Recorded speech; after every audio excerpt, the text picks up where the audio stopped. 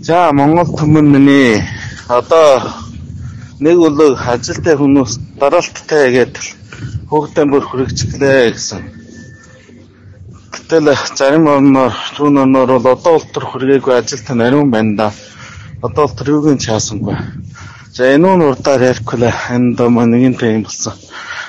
Хүсэх нь хүргэсэн ахмууд хөөгдөн дахиж гэртээ наваач бачааж авахыг хүсэж байна. Учир нь бол одоо хүргэсэн хүүхдүүд солон нолон учир явдал гарч байна. Дээрээс доош дараалах хийж хас биш.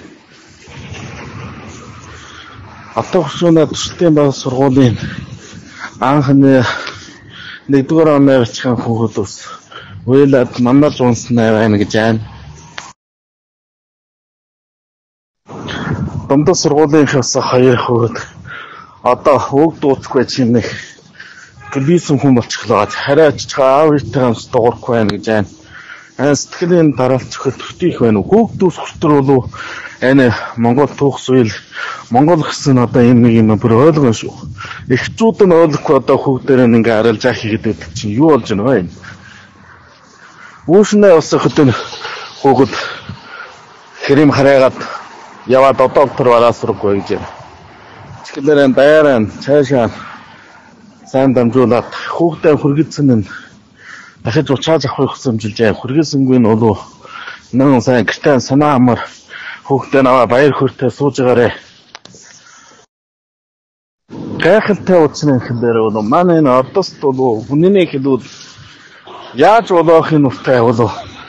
Зүүн орон газар орноор бол ариун жилийн уцаараа бүр нүдээр нь үжилсэн байгаа шим олон дүрс ингээд тавуулсан чинь. Үжиснээ дараа үүнээс ухаарал урахгүй хүүхдэн хүргэж хаад одоо тэр замыг дахин нэг удаа авах хүн гэдэг чинь энэ доо юу болж байна вэ?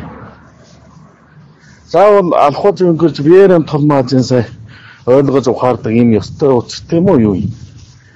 Тэгэхээр Мен доторч хурцсахтай хүн өстэй цаашаа хаврын хажуу багас хахлоо. Мань нөхөдөө нэлүүхэн дамжуулаа, илүүхэн сайхан хэлээд өхөө хүсэж байна. Өнөөдөр би бас нэг муухай сур тэрөө ярихгүй л. За ийм бай. Зогсолт бото.